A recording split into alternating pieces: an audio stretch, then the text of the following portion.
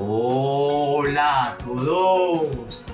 Bienvenidos a su canal Listo Profe. Soy el docente Gustavo Gutiérrez.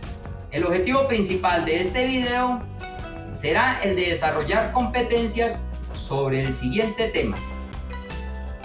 En el sistema de proyección europeo ISODIN, los objetos se proyectan en el primer cuadrante, es decir, los elementos están ordenados así.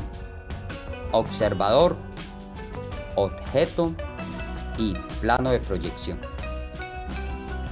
Cuando el observador se ubica en una posición infinita, los rayos visuales pasan por el objeto, paralelos y perpendiculares al plano de proyección. De frente, la imagen proyectada será la proyección frontal e igualmente para todas las demás. Para la proyección posterior, proyección lateral derecha, lateral izquierda, superior e inferior.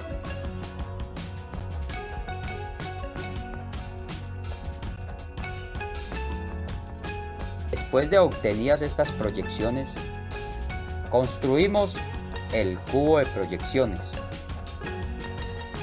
y si a este le colocáramos unas bisagras en las líneas de intersección de los planos y lo extendiéramos en un solo plano, obtendríamos el desarrollo de los planos de las proyecciones o de las seis vistas.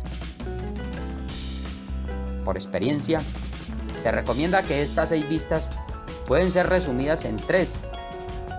Con ellas se obtiene una visión completa sobre la forma y dimensiones de un objeto. En la imagen se muestra la distribución de estas, que son nuestras vistas principales, la frontal, la lateral derecha y la superior, y también el símbolo de representación del sistema ISODIN.